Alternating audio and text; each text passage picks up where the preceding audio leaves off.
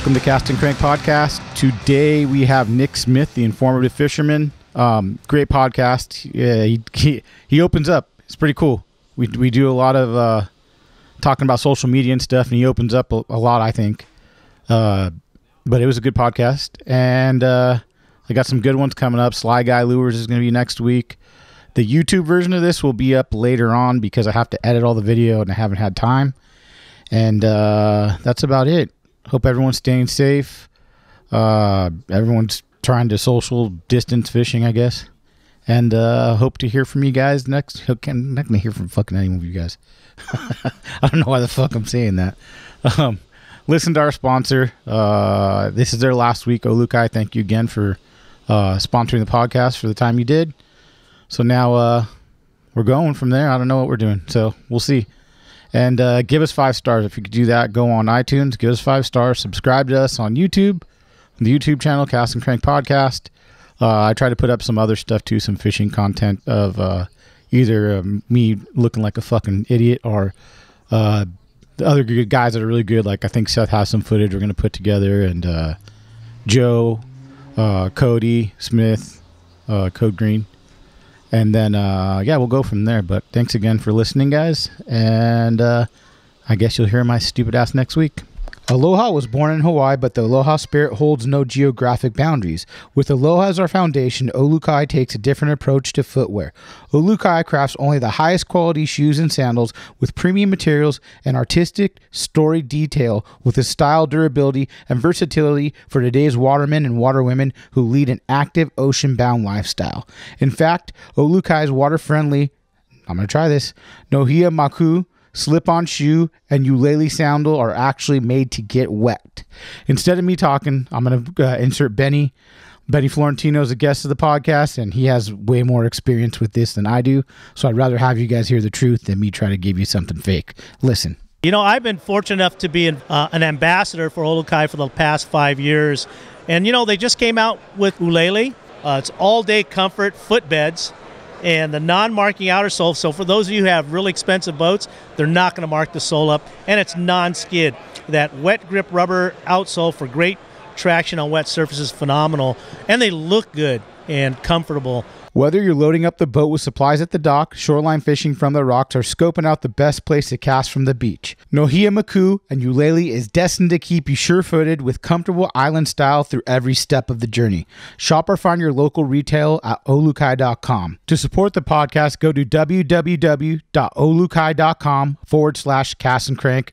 Please, guys, go. If you're going to buy a pair of sandals, just go out there and uh, get online and go to that link. It's going to help us a lot. Check it in the bio of the podcast. Thanks again for listening, guys.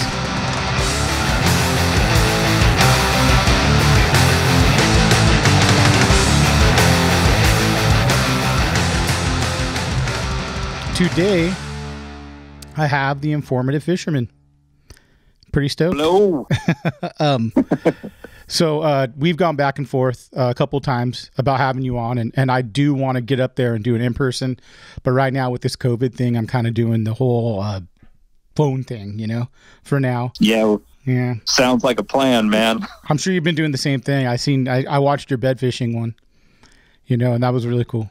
Been playing it safe, you know. It's Yeah. uh, it's the right thing to do. Yeah, definitely. And uh, so you, the interesting thing about you is I I started fishing about ten years ago, and uh, that's when I would Google stuff, and your your your YouTube channel would come up often. You know, because Oh, I mean, uh, it, so when did you start the Informative Fisherman YouTube channel? Oof, man, that's um. Well, I went full time in fully licensed. Let me let me clarify. Fully licensed in 2010. Um, but I was doing it years before then. Um, I actually started the first fishing YouTube channel. Well, second to a guy called Roger the Bass Guide. That I'm not sure you guys have probably never heard of Roger. Roger is a he's a little person, and Roger was an awesome dude. Like a like a dwarf watch- or a what's that? he's like a dwarf. Like Uh, yeah, he's a little person. Yeah. okay, And um, so I was watching a couple that Roger did, and I'm like, oh man, it'd be nice if somebody else did this. Well, I was on fishing forums, And back in the day, this is just this is before all your popular social media stuff, guys. And we actually went to a website. we would physically type in the website Yeah. and go there, and people would ask fishing questions. Other people can answer, you know, from their own experiences, of what have you. And um, I was talking to a guy on there that I went back and forth with on a fishing thread before on one of these bulletin boards or whatever you want to call them. and uh, he was on the island of Sri Lanka and they just got low profile bait casting reels. And I think this is maybe 13, 14 years ago now Yeah. and uh, he was asking to use a how to use a centrifugal braking system on an old school Curado E. And so I went to fill out this long reply, and I am not a writer. I will tell you that right now. Horrible writer, this guy. Yeah. And so I went to read what I had wrote out to this guy, and I'm just like, oh man, there's no way he's going to know what this is doing. So I asked my dad. I said, "Hey man, let me use that little digital video camera. Uh, remember the remember the little digital cameras? They take pictures, but then they would take like 20 second videos. Yeah.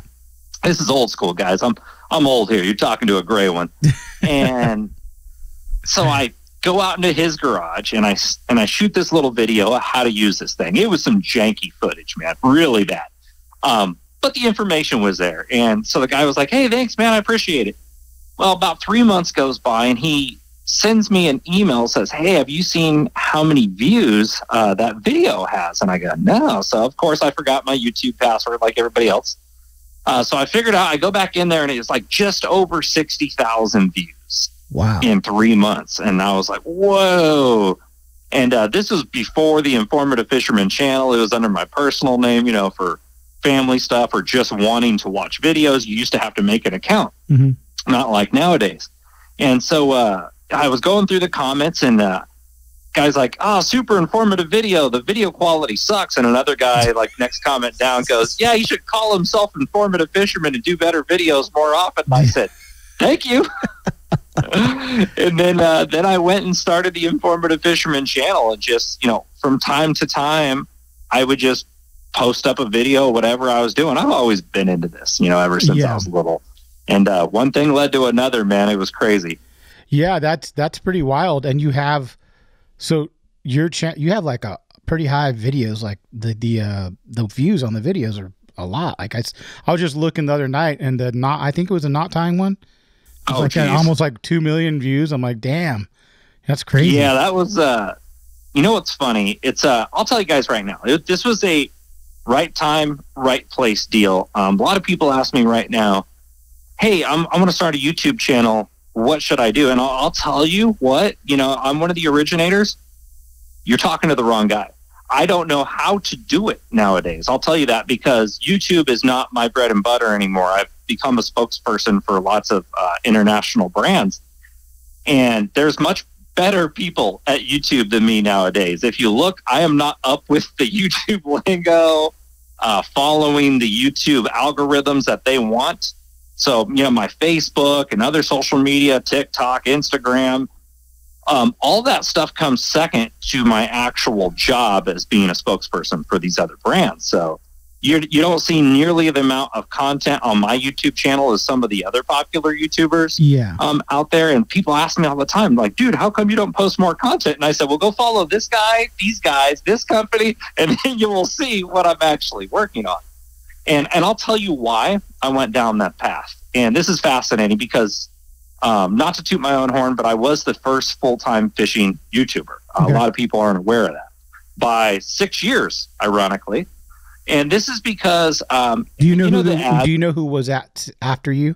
Who kind of followed um, suit? pretty sure it was Fluke Master or Lake Fork Guy, uh, Okay. Justin, Lake Fork Guy. Uh, good dudes. Both are good dudes. Yeah, Um, well, YouTube ads wasn't a thing to where basically you had to be affiliated with companies um, or endorsing their brand. And uh, luckily, my father was really good at vi- videography. So I asked him, hey, let's try to turn this into a full time thing because I got reached out to from different companies that wanted to advertise on the videos. And I'm just like, oh, you know, whatever. I threw a number out there just like anybody would. And they, of course, lowballed me. And I'm like, yeah, why not, man? Money's money. And I'm doing it anyways. So, yeah. That's yeah. a. and I'm sorry. Go ahead.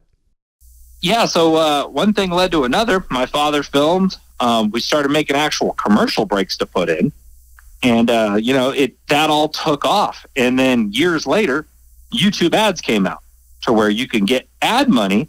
But the problem is, what I was doing was in violation of how they want to advertise. So it kind of it kind of strayed past for me uh, because I was an originator and I figured out how to make my own revenue.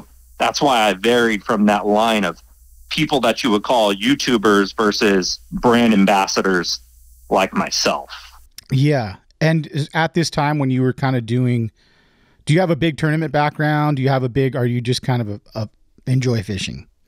You know what's funny? Um, I did do the tournament thing uh, for a while there, and I did pretty good, but not major level tournaments, just local club level, um, you know, Delta Bass tournaments, just things down those lines. And I enjoyed that, but for me, it's much more of a I like breaking down the science and the research. I was a huge uh, Doug Hannon fan. Um, all the researchers back in the day, all the old school stuff. Uh, Rick Clunn's one of my favorite anglers of all time because Rick put out a lot of literature, Mhm. and I like the scientific aspect of it a lot more than the competitive aspect. And all of my best fishing buddies were all avid tournament guys. So I had respect for both worlds. So for me, it was always about doing the best you can out there, not necessarily about going out and having a beer and hoping something bites my my senko. You know, Yeah. I, I like to improve every time and, and challenge myself, and not- not necessarily a tournament format. But I love both. So I actually stepped away from tournament fishing uh, because I brought on a lot of tournament buddies, and I didn't want a conflict of interest because my living became making videos, not necessarily surviving off uh, supplemental income via tournament money like them. So ethical conflict at that point. So that's why I merged away from that. What year did you kind of stop the tournament thing and, and, and focus on the 2010. 2010? So when the channel started picking up, you kind of went, uh, I'm fucking just going full on YouTube. I cuss a lot. I, I said, I, this is how the podcast is real raw. So, I mean, Yeah. right. You're just like, uh, the tournament thing's great, but YouTube seems to be like the, the thing you want to do. You like making media. So that's kind of how you pursued that. Yeah, it was a it was a right time, right place, right skill set ability. Like I had no intention of ever doing this full time. I'll tell you that that right now, Nick. It's like everyone in my family when I originally told them, "Hey, I think I'm going to do this. I'm going to go for it full time." They're like, "You're out of your freaking mind, dude. It's the internet." Yeah. Met my wife on the internet, started a career on the internet. Uh, dude, yeah, it's crazy. Uh, all great timing. So it's crazy when you look back at this, and I, I'm like, how could this ever have gone full time? For me, I grew up um, obsessed with fishing, all fishing. Uh, bass fishing primarily because there's more literature there than anything else. Mhm. Um, but I love all fishing. If it's swimming, I want to catch it. I can go out. You and I, bro, I can run down to SoCal wherever you're at, and we can go whack bluegills, and I'll be having a good old time. But I'll be trying to perfect our technique out there the whole time. Yes. Uh, then we can run over, grab a case of beers, and go throw for some catfish or something. And I'll be down to do that too. And a lot of guys try to knock, you know, dudes for what they're into, and I'm just like, what for? I used to do trout tournaments all the time. I love it all. You know, and that's just- that's another question I have for you that I I I feel like you're kind of like me somewhat where you're kind of like you're you're yourself. You're a goofy dude. I feel like you're fun. You want to have fun, you know? Like I watch your videos, you fuck around like it's you're having a fun time. Um do dude, you feel I like can't. I, it's tough for me to take life. dude and, I- and i'm the same way. So it's like i don't I really talk about you know myself. I like to know about the person. And the whole the whole purpose of my show is to interview you. Maybe not just fishing but to know more about you. Do you feel like because you don't take it so seriously maybe some anglers don't take you as seriously that are you know professional or what it might be? You know like any kind of flag. Every there's always going to be a fucking hater somewhere and i'm saying Sure. you probably get the same shit are, do Oh, yeah. people maybe not take you as seriously because you know, you fuck around. You you uh you don't really like take it seriously when you're doing it. Uh, yeah, yeah, I get it. Um, I think when you put yourself in, in front of a camera and you put yourself out there, um, no matter how good of a person you are, how nice of a person you are, there's always going to be people who come after you. And dude, I was born with essential tremor, so my hand shakes and my and my eyes twitch. I'm not sure if you noticed that, but uh, Mhm. probably it's pretty obvious. I noticed when I watched the videos. Um, and dudes, all they right when I first started this, were like, "Oh, is that dude on crack and shit like that?" And I'm just like, you know, at first I'm like, "No, dude," I felt like I needed to explain myself all the time on there, and then I'm just, you know, one day I'm just like, "Fuck it, who cares?" Yeah, and then I just went on from that point and i used to like i used to be super critical. Like if i stuttered or made up a word in the middle of my video i used to go back and be like oh i gotta fix that. And then I, you look back at my old stuff it comes across like almost robotic. Like i was so critical on getting the right information across that like everything was to the t. Nowadays i'm like whatever dude. If i if i happen to make some shit up some word out of thin air it's like ah dude who cares? You know this is it's a normal conversation between Yeah. a couple of buddies. What changed that? Like, you know, I mean, I think when everyone starts something, you're critical of yourself. You're critical of what you say. Um, what changed that? What was the time that you're like, I can't stop. I can't. I got to stop thinking about this shit. I got to just move forward. It is what it is. What really made you go? I'm. I'm done with that. Fuck it. Uh, you know, um, I would say it, it was a combination of a few things. It was seeing it on a regular basis um, to where, you know, you become accustomed to something. It's like the first time, you know, in high school when you got to go up and you got to read a book or something in front of class or elementary school or whenever it is. And, and you get nervous. You're like, oh man, I don't want to do this. I don't want to make the speech in front of the class. Well, you know, third, fourth, fifth time doing it, you become accustomed to it. You know, you become there you I lost you there for a second. You become accustomed to it, and then it's not so bad. And I think that comes across with anything. If even if people scrutinize you or make fun of you enough, you take it to heart at some point, but at some point you start turning that corner. You know, and if you got other positive people in your life, I could see how people, if they don't have positive role models in their life, the support of a wife, girlfriend, parents, you know, other friends, then yeah, you can you could take that to a dark place.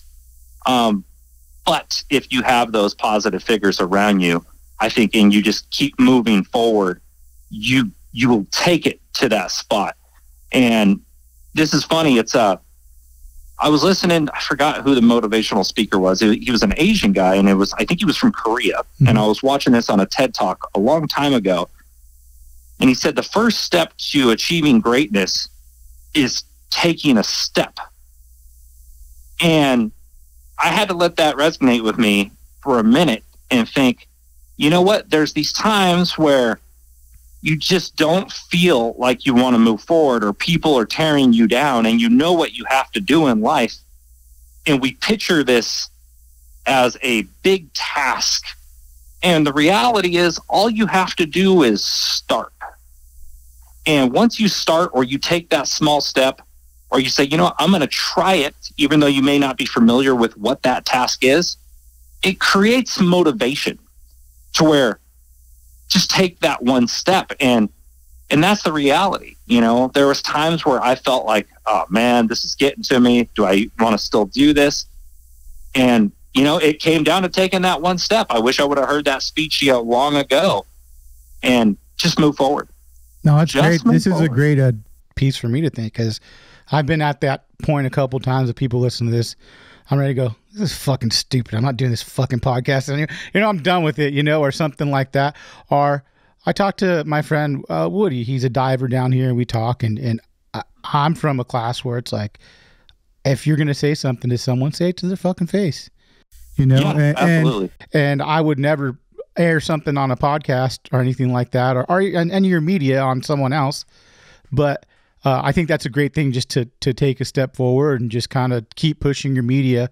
Um, were you married when you started this channel? Like when you when you started monetizing? How about that? Uh, yeah, yeah. I got married in 2007. Uh, I've been with my wife Pam for a long time now. Uh, let me not screw this up. Uh oh. Going on 13 years. Wow. so if she watches this or hears me, I might be in trouble. I think I got that right. Uh, we got we got three kids, man. It's uh so the combination of things I was telling you. And that's kind of the question I was getting at is when you made the jump to go, I got a full time job. You probably had a good job. Your wife's happy. She's doing her thing, and you're going, hey, guess what I'm going to do? I want to quit my fucking job. I'm going to do this full time. And her going, huh? You know, like that's kind of what I want to know is how did that go? Yeah, so he this is actually a pretty wild story. So I was uh growing up, I was an, always an outdoorsy person. My best friend Nick Merritt, he's super tech savvy. He even hacked when we were in elementary school. He hacked into our school's um, grading system. believe it or not, this is not made up. Like he is good. He's like Ferris Bueller, huh? Yeah, it was just like Ferris Bueller, dude. Exactly. And Nick was always super technically savvy. You know, Nick and Nick, and, Hey, and you're a Nick too. That's great, kind of solid, ironic. strong name, strong name. It is a solid name. Name your guys. Uh, name your kids Nick, guys. It, it should work out just fine. Right. right. Nick Nick Bobick. They're, they're gonna get it, guys. Um, so anyhow, Nick always kept me involved in technical stuff, and I used to try to drag him outdoors. Never worked out, but him dragging me to the technical stuff worked out. So I ended up becoming uh, kind of like a an IT person in a sense uh, for a company that Elon Musk started uh, with his cousins called Everdream, uh, which was purchased by Dell. They built custom computer systems for people, and my job kind of became explaining technical stuff to people that were not technical. So breaking down technical stuff kind of became my skill set because I was comfortable talking in front of crowds of people.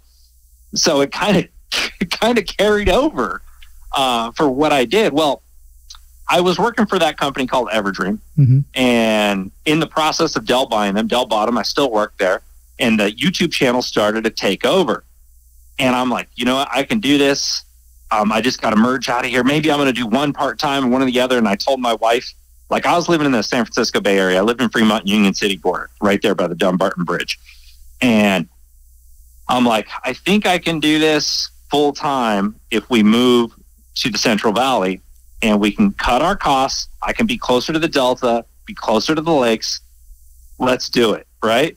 So for my resignation, I wrote a letter, a roast letter. Believe it or not, I probably still got this email. My buddy Nick can find it. If not, I'll post it. I'll give you the letter. That'd be great. I'll put it in the video. I went and I roasted every single person I worked for Oh, that said I'm out.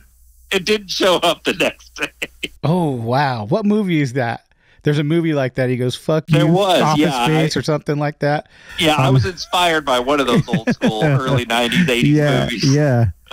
Wow, And that's so. I did So you that. did you feel like you did that to make sure, like, I'm doing I didn't this? go back. You can't go Yes. back. There's no way. This is it. Yeah, I, I, uh, you know, I cut the lifeline. You know, I said, okay, there's no way I can go back to this now. Yeah. I'm out. wow. And the funny part is, all the managers actually enjoyed it.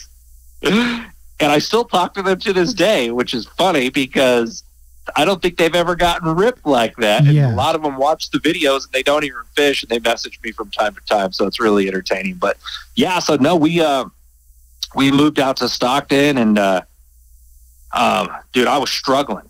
I was struggling. I'll tell you this right now. This is what a lot of people don't know. They think it just happened and came easy uh, I was struggling bad to where I had to take a part time IT job where I would drive into people's houses and re- repair their viruses and stuff for a company called Nerds on Call, bro. Like, I'm a confident dude. I wore a shirt that said Nerds on Call. I had, to, I had to comb my hair, no hat. And I would go in and fix their computers, and like dudes had porn all over their Right. computer. Like, Every one of them. No, serious. Like this is like every other day, I had to go and like clear all the porn off guys' computers because the pop-ups and they were scared their wives were going to catch them. No joke. No joke. Listen to this crazy ass story, bro. Listen to this crazy ass story. This is hundred percent real. Okay. I got two crazy stories. I even had to quit that job because it got unreal. I went into this dude's house and he goes, "My wife's going to be home by three, and it was like forty-five minutes or something like that. And he goes, "You need to get this off, or else." He gave me the "or else," and I'm like, or else what, man? I, I don't know if I can get this off there by then. Just get it done. Just get it done. And I go, bro, like here, let me just take the computer to the shop, and that way I guarantee you I can get it done. No, you can't take this computer out of there. And I go, well, then I can't help you, man. I can't work with like an ultimatum. And dude raised up on me and he's like, what the fuck's your problem coming to my oh. house and gonna and gonna roll on me like that, right? And he was some thug. We're talking Stockton here, okay? There's some bad parts, yeah, bro. yeah. And he's he goes, I ain't even playing no more. And he starts digging through his drawers. I ain't playing, looking at me, yelling.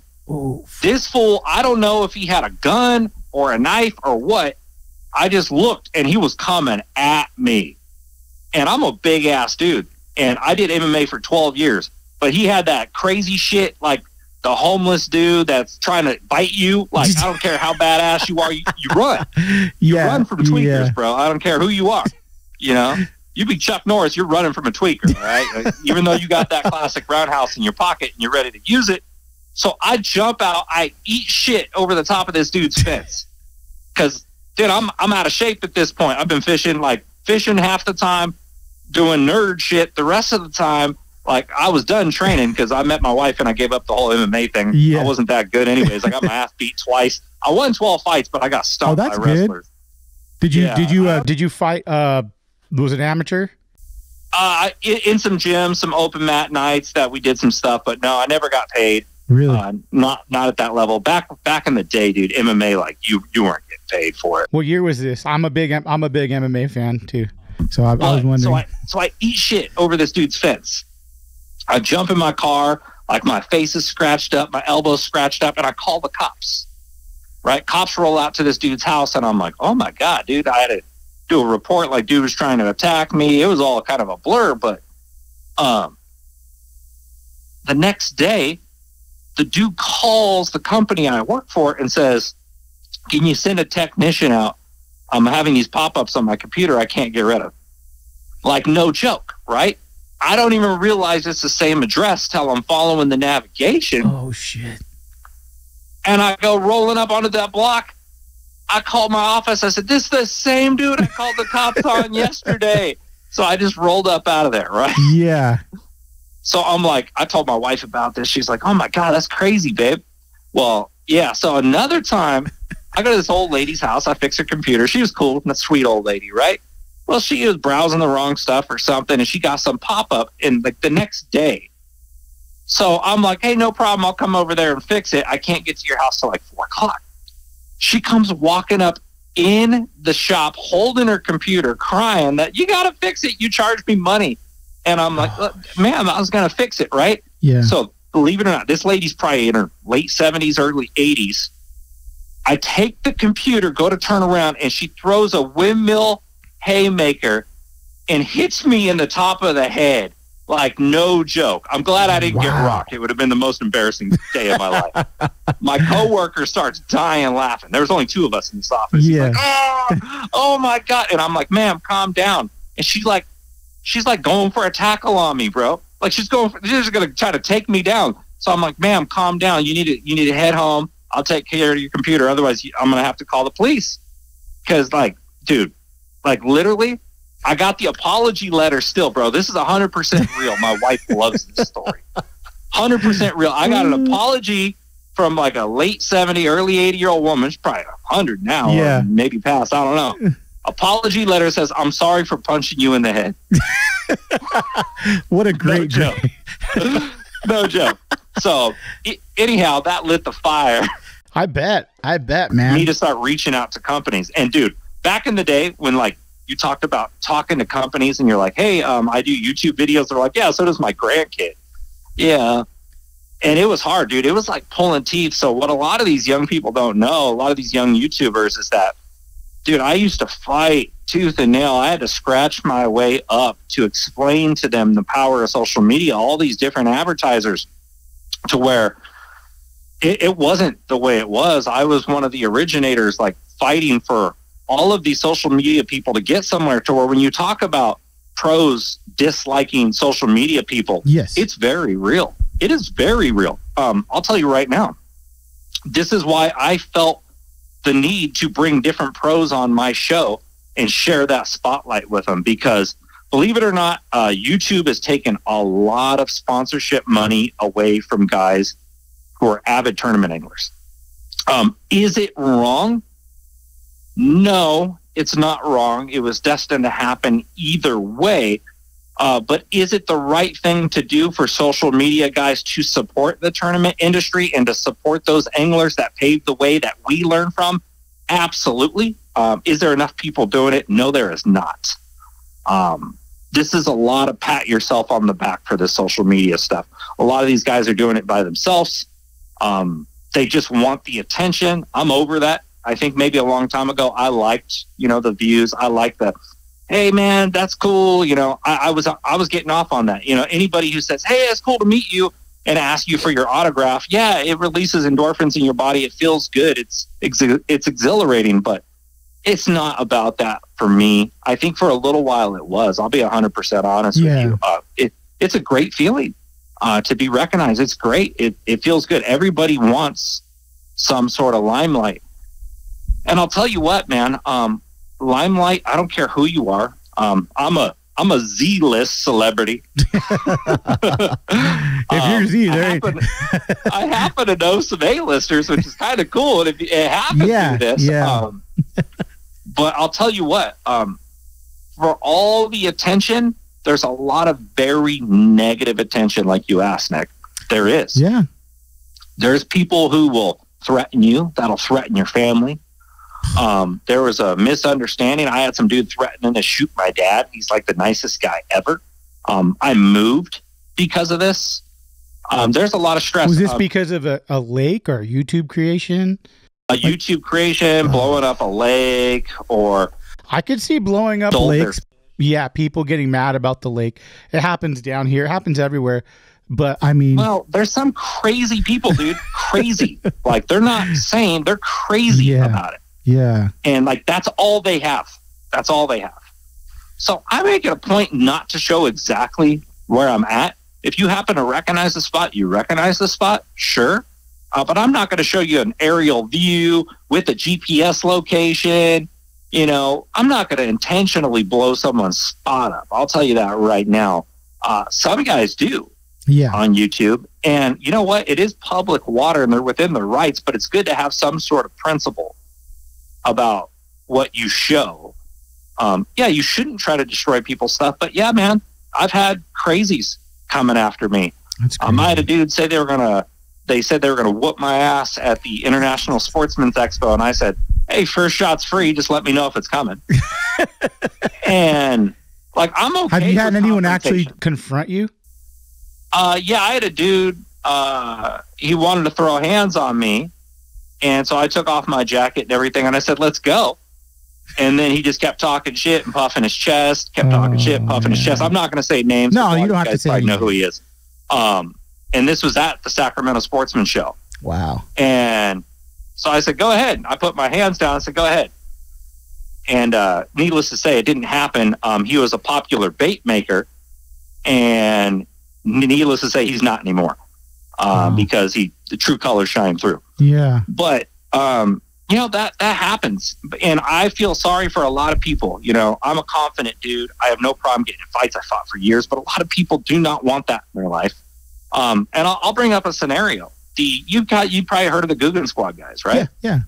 And don't get me wrong. I'll tell you right now, if you're a Googan Squad fan listening to this, what they are doing, getting a lot of young people into fishing, is absolutely fantastic for the sport. I don't do it the way they do it. That's fine. Everybody has their own avenue. Mm-hmm. Um, positive fishing is positive fishing. But they used to have uh, the involvement with uh, Fluke Master, Gene Jensen. And Gene went his separate ways, and somehow it offended uh, the Lunkers TV guy, and he turned his fans on Fluke Master. Well, Gene's a dad. He's got young boys and kids at home and a wife, and he started getting all sorts of threats, you know, and an empty threat, you don't know who it's coming from. So it put all sorts of stress on this dude, you yeah. know? And he's a non confrontational guy. He's not a fighter. Um, I felt horrible for that dude during that time. And and I got a little pissed off at the Googan Squad guys. I didn't make it public that I was pissed off at those guys, um, that they needed to retract whatever whatever was said. I don't even know exactly what was said, Mhm. but dude, it carries over. And I think what we all miss out on is that getting more people into fishing and just bringing fishing to a bigger platform only helps us all. You know, uh, when guys, you guys, some guys listen to this, probably watch my videos and probably like, oh, I hate Nick. That's cool. I'm I'm cool with it. You could totally hate me, but what you should know is that your local uh, tackle shops, I'm supporting them, guys. Uh, if I go to a lake and fish, that local tackle shop where you like it, that one custom bait maker that you know that lives down the street from you and they carry his stuff, chances are they may buy more of his stuff for you to get. Um, those people that work those snack bars at those lakes, they need people coming there. You may have a secret thing dialed in, um, but if you don't share the wealth with others, you're not supporting the industry that you love.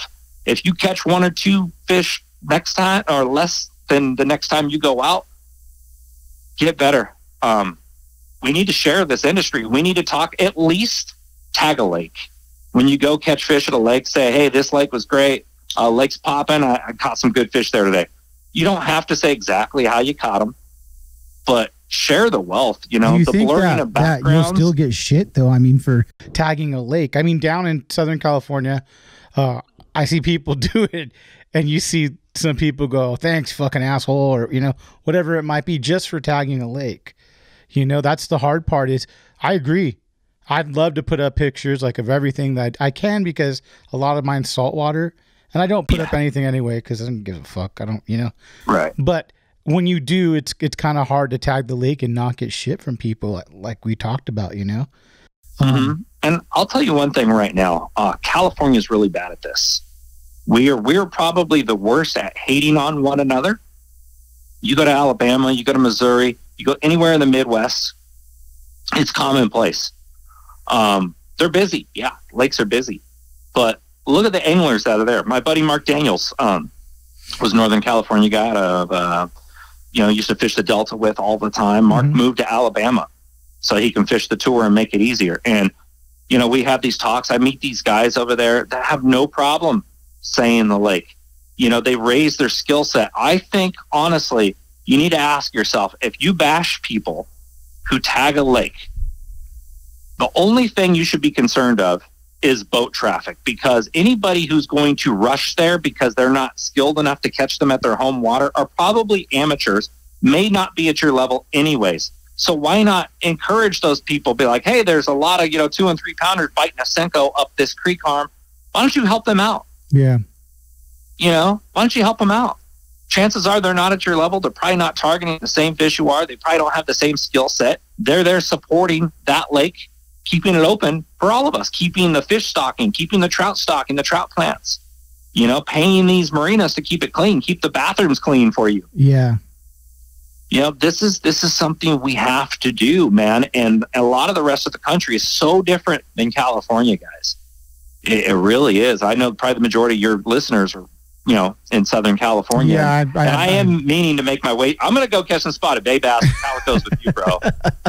yeah, come down. You're always invited, dude. We're that's a, I'm what I do a lot it. of. Yeah, it's fun. it's a little i get it's cool because i'm getting listeners from you know back east i had a guy message me by no means am i like a a spotted bay bass guy or anything like that but that's what i do and uh, i get people going hey uh we're gonna do my bachelor party. We're coming to California. We're gonna go and you know uh, catch calicos. Where do we go? And I'm like, oh, try this guide, this guide. You know, there's so many good guides down here, and uh, you know, it's really cool. I had a, do you know uh, Fish on Guide Services up that way? Sean Anderson. Uh, the name sounds familiar. He's a G Rat to bait guy. He fishes G Rat. Um, He was Oh. on the podcast and he's like, I love Oh, this. Sean, Sean, yeah, um, he's in Sacramento. Sacramento River, I think. yeah, he does the. Yes, I do know him. I'm sorry. I'm sorry. Garrett's buddy. Yes, yes, Garrett from G Rat's buddy Sean, Yes. who guides the rivers with the big uh, sneaky peats and stuff. Yes. Yes, yeah. I'm sorry. Sorry, Sean, bro. That's all. That's my bad. My bad, John. He's a guy I, I talked to from up there. He's a really great guy, and uh, we talk about Calico. He didn't come down this year, but last year I hung out at the booth with him. He's a he's a guy I, I first phone interview like about a year and a half ago.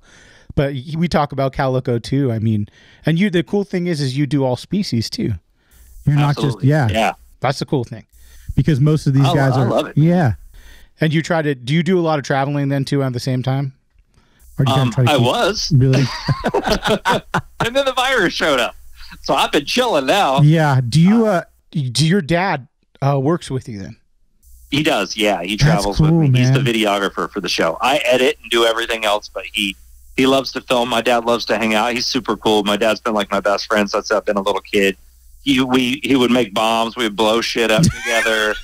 He'd teach me how to make booby traps. Like I had 21 broken bones. He had 19 growing up. I've had seven sets of stitches. I've been lit on fire. Like my dad and I are like super accident prone yeah. crazy. Like, here's the thing: if I wouldn't jump out of like an 80 foot tree into a lake, my dad would be the first one to call me a pussy. And uh, and I thank my dad for raising me that way because now when I look at other people or other dudes that won't like are like touching a fish, I'm like, what the hell is wrong with you? Yeah. No, I think I'm the same way with I have a 15, a 9 and a 2-year-old boy. So, me and my 15 are like if you ever watch my Instagram, I'll be driving him to school and he'll be looking at his phone, I just slap it out of his hand. You know? Just to be, he'll get mad at me. I'm like, hey, I'm just playing with you, you know. But he'll get me. Like he almost pinned me the other day, and I'm a short, stocky guy. He's taller, you know. And we start wrestling. I'm like, okay, I'm done. I'm done. I'm done. You know. I mean, there's little fun stuff like that.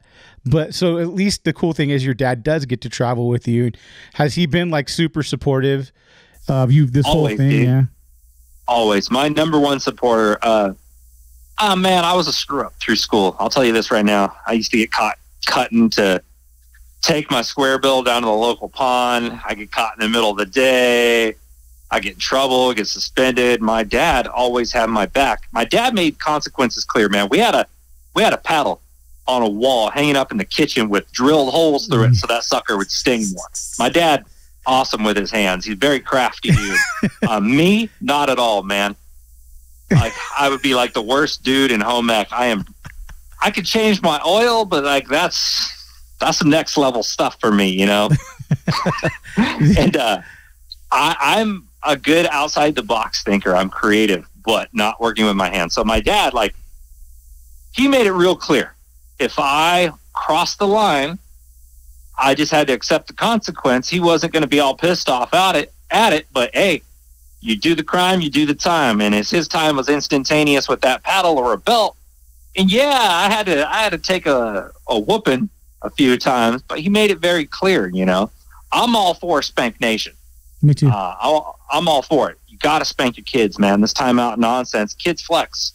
Um, dude, I've had I've had teenagers flex on me, like trying to act tough, and I'm like, "The hell's wrong with you? You never had your ass whooped, kid?" Like, like I had little hundred pounders come up to me. I'm giant, dude. I'm I'm 242 pounds right now. I'm six six, and I'll have like little tiny hundred pounders soaking wet teenagers when I, I you know there's some rough neighborhoods around here yeah. try to flex on me. And I'm like, wh- where's the pecking order nowadays? you I know? feel like that's And- that's here too. I had a kid do that in front of my house, and I'm like, I'll go get my son and he'll fucking beat your ass in my head. You know, like I know my son can fight and beat you up. You know, like, but I feel like that even is nowadays. Like people, you hear them talk on whatever they might be on, they talk like they never got hit in the face, right? yeah, Even on YouTube videos, on Instagram, it's like, man, you must have never been hit in the face because you don't talk like that. You know, like, Mhm. you know, you ever heard the term? Everybody thinks they're tough until they get punched in the Yep. And this is a reality check. I think getting punched in the face does you a favor. Yeah. Uh, learning your pecking order in life is does you a favor. If you had brothers, I never had a brother. Luckily, I had some rough friends and a good dad. Um, but I see this. You know, little boys who grew up and, and never had a rough time, or their parents stopped a confrontation too soon. You have this false sense of reality, and and this carries over to. Um, I'm not bashing anyone politically right here, but people you call a libtard, okay, that like, oh, everything's peaches and cream, hunky dory, give everybody everything, everything works out great. No, you have to work for what you achieve. If you don't work for what you achieve, I don't respect you. If you were born rich and you didn't decide to push the envelope to create something on your own, you do not, you have not earned my respect Yeah. you earn someone's respect when you earn your keep. I'm absolutely not for that. I, I love the way this country's built, you know, and granted, it's okay that you think that way, and I think it's great that everyone has a difference in opinions. I don't want to live in a communist society. I'll tell you that right now. hmm But to earn my respect, you have to earn your keep. Yeah. And and that's just how it needs to be. And learning your pecking order in life, and this is how this relates back to what we were just talking about. It's good to get your ass kicked once. Because it uh it, it's like taking that first step that we talked about earlier. You you kind of realize like, you know what? Uh, maybe I shouldn't have crossed that line. Right. And, Right. and that's good to have in the back of your head. Yep. I agree 100%, man. Um, So You when know, it's uh scary yeah, nowadays. it is. Um. Mhm. So back to fishing. when was the the who's the big sponsor that kind of helped push you forward? Do you have someone that you've been with for a long time that you're like, wow, this kind of is your your dude? You you stick with the company you stick with. So here's the thing that's kind of crazy about this. So originally, I got reached out to from a couple of smaller companies. I won't even say the names, and they say, "Hey, can we stick a picture or, or a website in front of your video?" I said, "Sure." And they go, "How much?" I go, uh, 100 bucks." And they go, "How about a hundred for two? Oh, oh, sure, perfect. So I get a call one day after I've done three or four of those, and it's the owner of P Line Oh wow. uh, one of the owners, not John. John's the original owner from Italy. Okay, John is the father of Stefano and Angelo Pucci, which own Pucci and P-Line. Mhm. So Stefano calls me, and Stefano's a hard businessman, and I'll do my impression of Stefano in case he's watching this. Hey, uh, is this Nick? yeah, what's up, Stefano? Um, I didn't know who he was. Um, I uh, own and operate P-Line out of Burlingame. Uh, we like what you've been doing with your YouTube videos, and I'm like, whoa, okay, here's a cool call. My problem is, this is what he tells me. My problem is, that's you, Stefano. It's 100% you, bro.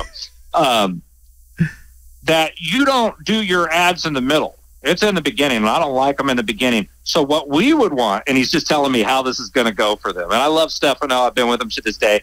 Even though I'm busting your balls, bro, uh, still love you to this day. I think you're very entertaining. He's not into fishing at all, but you're very entertaining, and I love your personality. yeah. Uh, our problem is we want like a 20 or 30 second video in the middle of your videos. You, why don't you just make a commercial break? If you could do that, um, then let's talk.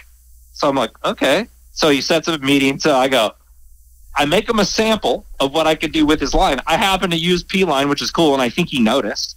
Uh, that's why I got the phone call. I'm trying to think who even gave him my freaking phone number. Come to think of it, I don't know how the hell he got my phone number. One of my buddies must have knew the guy. Um, so I make him this sample video, and it's a it's a P line video with my uh, with all the sample footage that I had of catching, and I showed the labels of his boxes and everything. And he's like, "I love it," and uh, so he negotiates a price with me. And needless to say, that price has hardly changed over the years, and it's because they are originating advertiser with me.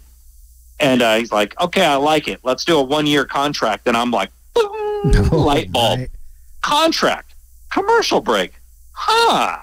Wow. So everything followed suit. Uh, the price grew a little bit um, because I needed to pay bills, and PG&E doesn't take fishing lures. I wish they did, dude. I would be so well off. I'd be a wealthy, wealthy man. and I look behind me, dude. This is Yeah, I'm looking not right even now. a, this is not even a tenth of my collection. Look, dude, it's just oh damn. You got a it's lot of endless stuff, man. and, and the boxes and i got another garage full it's my boats it's ridiculous yeah. i've been doing this for so long but um you know different companies followed suit and i uh, got a couple offers to be a spokesperson for a few different brands and then i kind of just started merging away the other social media platforms came out and i started doing uh, specialized content for them for their own platforms for magazines for different tv shows and and everything down those lines. And that's kind of where I went from being a YouTuber um, for a certain amount of years. I think I was a YouTuber probably for half of my career. Uh, then I became a spokesperson for this later half. So yeah, Which so is you don't see a lot of YouTube video guys. Sorry. Yeah. um, and you also have your own event up that way, correct? I have uh, I have two. Okay. um, that we do. Um, this last winter, I didn't do it. Um, we call it IFMIS, Informative Fisherman's Christmas, um, to where I do a big free event for the fans. We go to a lake, uh, we do a big giant dinner, Um, I do after party in the cabin. We do a huge raffle, giveaways, seminars, hang out, and we do a fishing free fishing derby the first half of the day. Then the second half of the day is that where everybody camps and hangs out.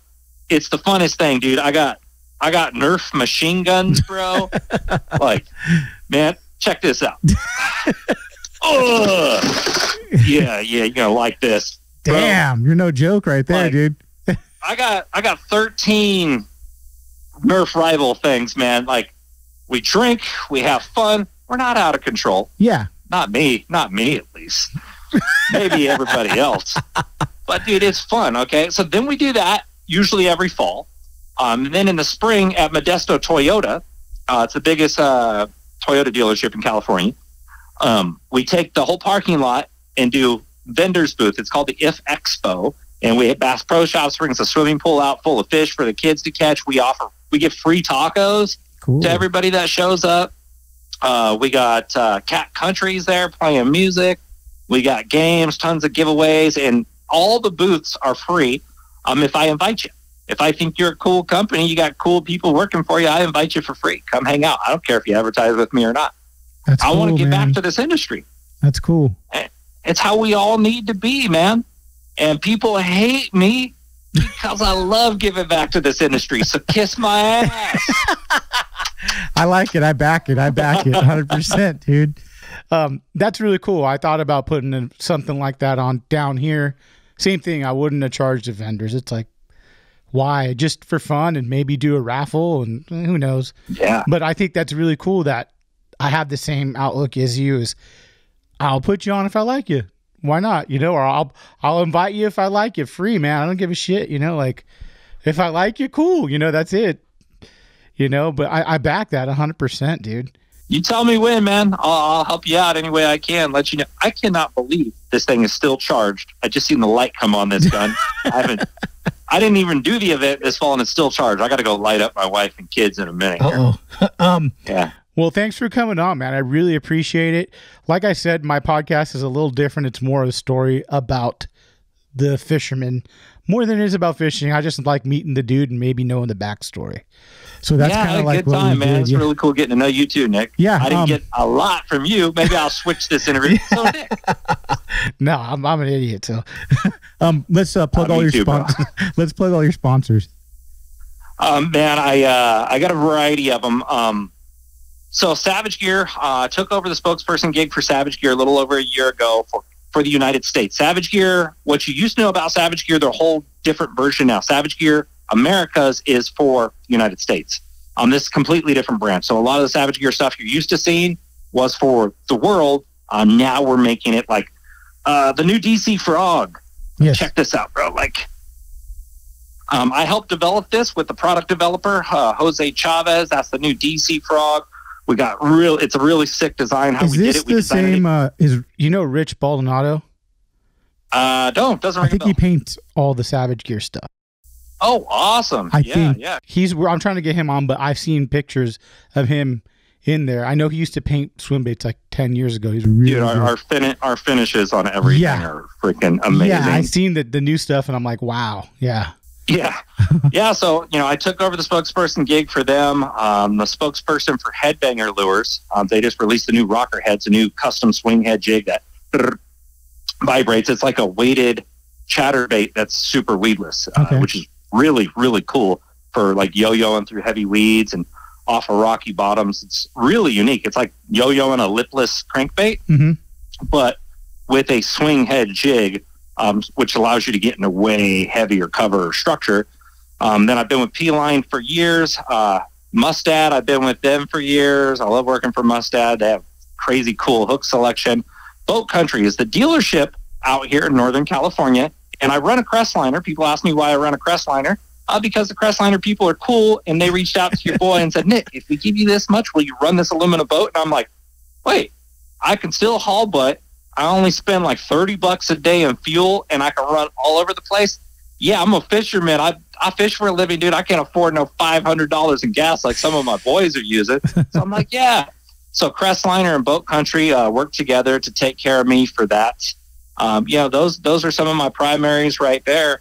And uh, you know, it's uh, monster bass right here. So you guys haven't heard of monster bass, you should definitely check them out. So you guys have seen the box companies a whole ton, right? Yeah. You've seen it forever. Uh, my buddy Rick Patry um, used to own and run Lucky Tackle Box. Um, he decided to go away from it because a lot of the different investors had different visions for the box company and wanted to start using some off-brand baits. Rick goes, I'm going to start another box company. I'm only using high-end brands. The margins are going to be super small, but I think it would be cool to give everybody like premium baits. So now I get to decide a lot of the cool baits that are going in the Monster Bass box. So, like, guarantee you're going to see these new frogs. The rocker head was just in Yeah. there from Headbanger. Like tons of cool stuff Yeah. um, go, going into this. So, uh, Bill Lewis Outdoors, Rat-L-Trap. You guys heard of Rat-L-Trap, right? Yep. Um, I've been with Bill Lewis for a couple years now. Me and Mark Daniels, Brian Latimer, we're all Bill Lewis guys. Um, Bobby Barrack used to live out here on the California Delta. We've all been with him for a long time. Mark's new square bills are sick. The uh, SB57, Mhm. uh, really cool honeycomb square bill. There's a lot of cool stuff, guys. And I'll tell you one thing about my advertisers right now. I wouldn't work with them if they weren't cool. And I can tell you basically everybody who's in charge, their names. And I've made it so far in this industry that I don't need to support dickheads. and I, this is cool because this uh, this podcast is real. Nick's podcast is real right here, so I'll keep it real with you guys. Thank you. Um, Wes Higgins, owner of Bill Lewis Outdoors, super cool, down to earth guy, calls me every other week to talk about pan fishing with his kids. Like, that's who I want to support. The guys from Sweden, from Headbanger, at first I'm like, I didn't know if I wanted to get involved. They flew out here to California, spent time. They taught me how to say all the bad words in their language.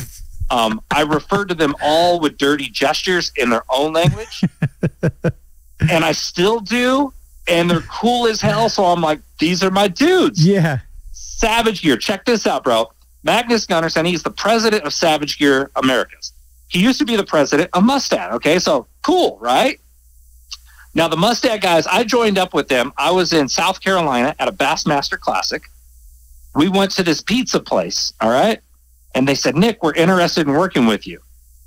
And the president of the company, we were next to this shooting basketball thing. And I said, if you beat me in this game, you name your price. I beat you. I name my price.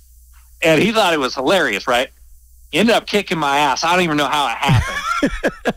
I'm like, you got to be kidding me, right? And so I started working for them. All cool dudes. Uh, so Magnus from he went to run Savage Gear Americas, and he actually started Savage Gear way back in the day, and then went to Mustad, came back, Yeah. so my buddy, who was the old marketing manager for Mustad, um, incredible videographer, one of the best in the whole fishing industry, Sam Root. Okay, um, you guys need to look up Sam Root on Instagram. Sam has insane footage of tarpon on swim baits. Uh, Sam put me on my first tarpon on a swim bait. Wow. I've only caught tarpon on eight inch plus swim baits, guys. I've never used artificial. So I, my tarpon game is so backwards from everybody else's. I use all lures, Yeah. all Savage Gear lures. yeah. Um, then I got to meet one of my best friends. I can consider nowadays Jose Chavez is the U.S. product developer for Savage Gear. Super cool dude. I go to Florida with them um, each year now, and we have a ton of fun, man. These are cool freaking dudes. Like I'm not going to support a company that has their head up their ass. Yeah. I'll tell you that Yeah. right now. And if at any point, if you stop seeing me work with that company, think about that. No, I, I think that's a great great uh, outlook you have, and I mean, uh, have some kind of integrity, right? You have to. Yeah. You have to. Yeah. Not many people have it nowadays. I can tell you have it, Nick. This is the first time we've talked over video. This is really cool. I can tell you have integrity. Guys, listening to this right now, if you're one of my viewers and I share this with you, uh, definitely follow his podcast. I just got into the whole iTunes actually following podcast because I listen to Joe Yeah. all the time. I need to get Joe's ass out fishing, though. I think he's a fishing hater. Right. So yeah, I got to get some of my UFC buddies to call him on it because I know that Joe know, Joe knows all them real well. My Yeah. buddy Clay, uh, he's cool with Joe, and uh, Clay Clay and I talk fishing all the freaking time. there you go, dude. Yeah. Clay is a great guy I followed from uh, UFC. Like I've I've watched Pride Dream, all the everything. Yeah, from a long Damn, time. you're originator, dude. So Yeah. yes, I watched. I used to watch all the Pancrase, all the Mhm. Pride FC, all the original stuff. Like I've been, I've seen every single UFC since one, and in that order. I didn't watch them later in life. That's what got me into it. Uh, I know we were already trying to wrap this podcast. No, no, Check this out. so, I of course watched uh, Royce Gracie and stuff. Submit a couple guys, and I'm like, wow, this is crazy, right? So, of course, you watch it on TV. You could do it, right? We all do the Steven Seagal moves. We just watched it a couple times. Now we know them. So, anyhow, there was this wrestler of Alameda School District because I grew up in the Bay Area, uh, Jimmy, and some dude said, "Hey, Nick, we're going to give you a hundred bucks and Jimmy a hundred bucks, and you guys go fight in his backyard, right? Because this is when UFC first came out, so everybody wanted to fight." and I'm like, "All right, cool." So we go out in this dude's backyard. He is not a good striker, and I I used to grow up fascinated with boxing. I had some people teach me how to box and stuff.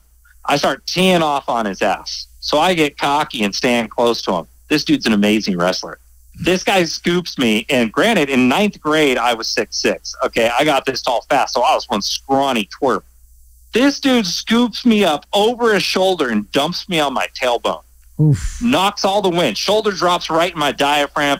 Woo! you know that i can't breathe and he starts beating the ever loving shit out of me. Well someone's parents showed up and they're like dude stop the fight. Stop the fight right? And so we're like we're talking me and, and like they pulled me and Jimmy to the side and he goes, "Oh my god, dude, I thought you were gonna kill me." I'm like, "Bro, I thought I was dead." Right there at the end, he goes, "Oh, I didn't even know you were hurt." I'm like, "Dude, I was ready to give up. I thought mm-hmm. someone was gonna stop it already." and so I'm like, "Damn, I gotta learn jujitsu, man." So I, you know, I started learning jujitsu with some friends and started training with a fight team, Nogi Jiu-Jitsu. I'm like, I loved MMA, dude. Look how jacked my nose is. I, I shattered my nose three times. You had This to fight heavy. out there. I You had to fight heavyweight then, right? Uh, light heavy. I was 205. Who did you fight? time. Who's your Most the most notable fighter you fought. Uh, nobody. No one. no? Uh, Bobby Southworth used to talk all sorts of shit from American Kickboxing Academy because I dated his ex girlfriend. Sucker. I'm just kidding. Sorry, Bobby. AKA, That's dude. long Fuck. since in the past. but Bobby used to fight the UFC. yeah. He'd, he'd probably stomp me. Dude, like UFC level and other organizations, guys are so far apart Right. from Yeah. one another. Like, dude, yeah, you make it to that pinnacle. It's like being in the NBA versus playing like, Yeah. you know, well, I'm not even going to compare it to the G League. I'll, I'll compare it to like, to like basic collegiate programs. Yeah. Yeah. Yeah, you don't stand much of a chance. Well, hey, I'm glad that never, uh, never went down. Thanks for all the good stories, man, and opening up a little. I appreciate it. And uh, hopefully you can come down here and do some calico, and we can meet up and do an uh, in studio one once all this COVID stuff clears up, man. Yeah, absolutely, man. I appreciate you uh, reaching out to me to do this, Nick. Yeah, Thanks for for sure. everybody tuning in. Uh, hopefully, you guys are all staying safe, man, and enjoying enjoying life. Don't